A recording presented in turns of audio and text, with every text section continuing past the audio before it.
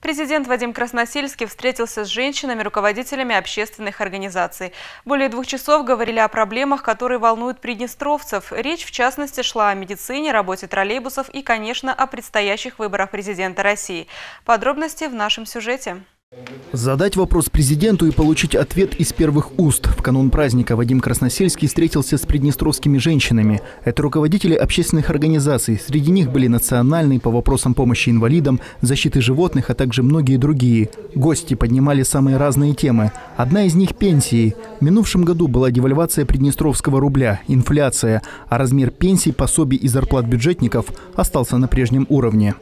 Я вижу необходимость однозначной компенсации и поручил правительству разработать три варианта. Это повышение на 7%, там 10 и 12%. Прогнозы нагрузки на бюджет. Наша экономика находится в состоянии оздоровления, это тоже, в принципе, очень хорошо. Люди почувствуют, когда они почувствуют материальное благо, то есть повышение пенсии, повышение зарплат. По словам президента, вопрос повышения пенсий и зарплат сейчас обсуждается. Правительство также работает над тем, чтобы выделить субсидии пожилым людям, пенсии которых ниже прожиточного минимума. У нас сегодня около 20 тысяч пенсионеров, которые пенсия не, дотягивает даже до 1100 рублей.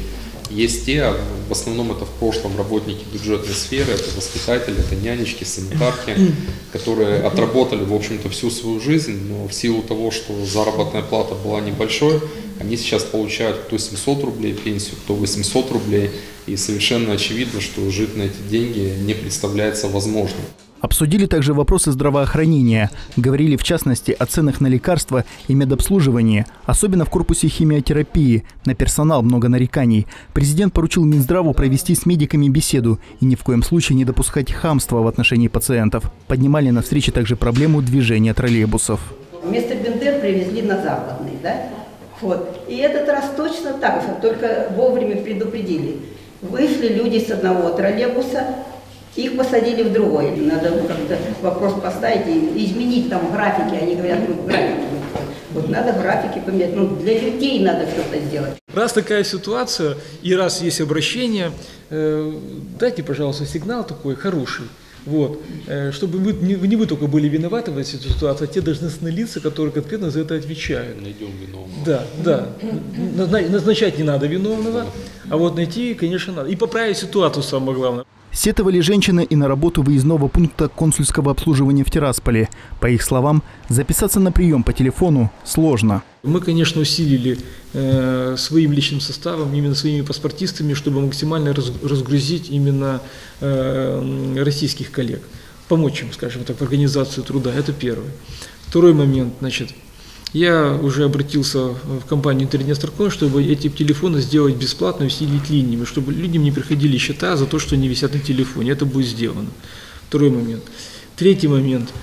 И я обратился уже к послу Российской Федерации Фариду Мабаракшевичу все-таки с тем обращением, что, учитывая, что мы живем в 21 веке, пора уже организовать не телефонный прием заявлений, а электронный. Затронули на встречу и предстоящие выборы президента России. Напомним, что 18 марта в Приднестровье откроются 24 избирательных участка.